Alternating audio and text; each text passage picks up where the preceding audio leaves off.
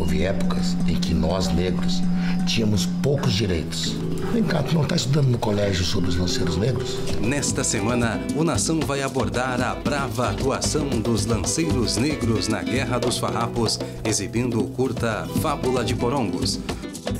A liberdade que o negro buscava era mantida na república que surgira. É impressionante, filha. Como tu gosta das histórias do teu avô. Chegou o momento da história que eu tenho que falar sobre o massacre de Porongos.